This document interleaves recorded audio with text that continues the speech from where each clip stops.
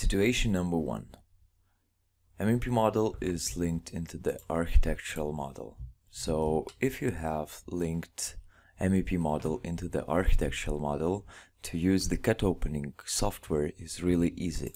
You should go to the Collaborate uh, tab and use interference check and run the interference check in between the categories that are in the current project. In my case, it's ceilings, floors and walls and you should check the clashes in between two different projects because your MEP objects are in different uh, projects. So you have to choose categories from the different Revit file and there you have to click on the MEP objects on the MEP line based elements. So after this you have to click OK export your interference report as the HTML file. I will save that. And then you have to read the interference check data using our cut opening solution. So we have to browse it and we have to open it. And uh, after this, you have to click next and you will get all the clashes right here uh, just straight from the Revit interference report. After this, you have to save the XML file uh, so I will call it XML uh, linked MEP. I will save that. And uh, the main rule to insert the openings uh, to the uh, to the model when you have linked files is that you have to place openings in the real elements in the real walls, in the real floors, in the real ceilings, and so on.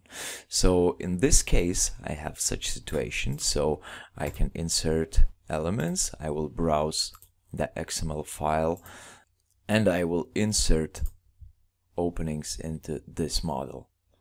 So I'm get, getting back to the model, I'm hiding the elements, and as you can see, we have openings created uh, using the linked Revit files.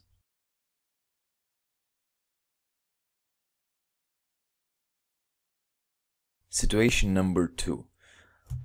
We have linked architectural model into the MEP model. So the workflow now to insert the openings into the model is a little bit different.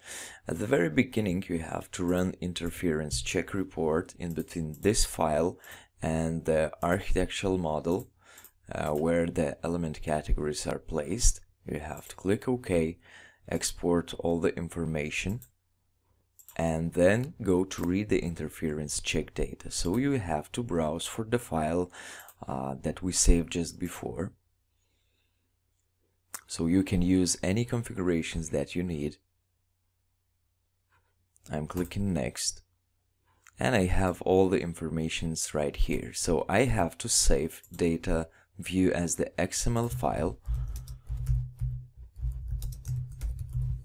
as the linked architectural model. I'm saving it.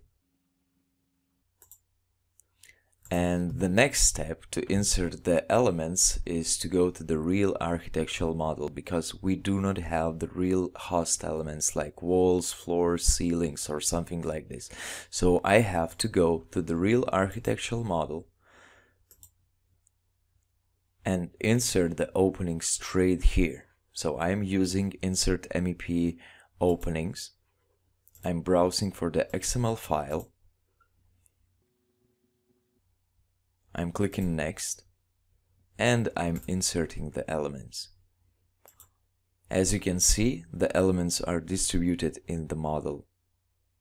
So if you will save this model and you will go back to the arch linked to MEP file,